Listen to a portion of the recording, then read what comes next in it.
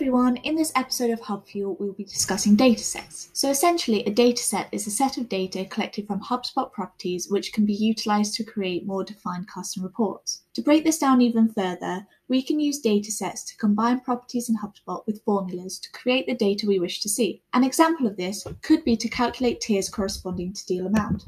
To demonstrate, this would involve the if function and look to see if the deal amount is below a certain threshold and group this accordingly to tiers low profit, medium profit, or high profit. If we then preview the data on this dataset, we can see that by defining the criteria for each tier, we have successfully grouped our deals based on deal amount. Now, to start at the beginning, to access datasets, simply go to Reports and then to Datasets.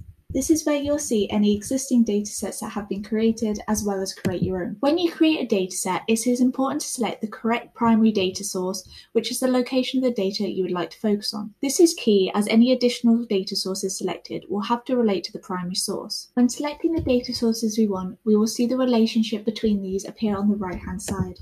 Once you are happy with your selection, simply click Next, and this is where we will need to drag over the properties we want to include in the dataset.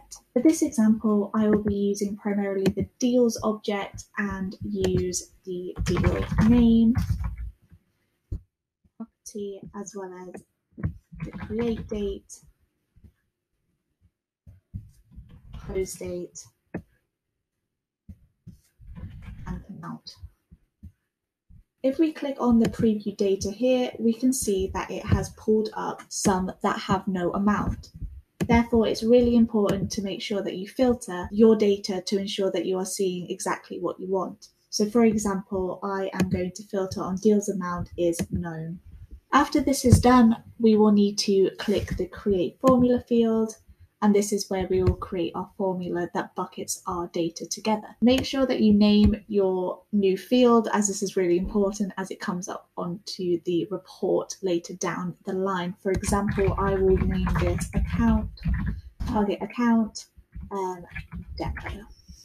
Now this is where we add the formula in this box here. Um, as explained on my previous example, I am going to be using the if function. And the great thing about HubSpot is that it has included a formula guidance box, which in my opinion is great as it allows you to view examples related to the function that you choose. So as this now provides the exact function I need, I'm simply going to copy and paste this. Perfect. Again, you do not have to use the examples, they are just there for guidance, and you can also unselect this box if you desire. Now, as this was an example formula, this was already validated, but when creating your own custom formula, please make sure that you click this button to see any errors and rectify this, as otherwise you cannot use this. And as we can see down in the preview data, this has then populated with the amount and the target account demo, low profit, medium profit, or high profit. Once we are happy with our data set and checked everything is okay, press next and then save. Perfect. This is where we can preview all of the data that is in the data set, as well as the metadata and any reports that are based on this data set. To build a report, simply click report.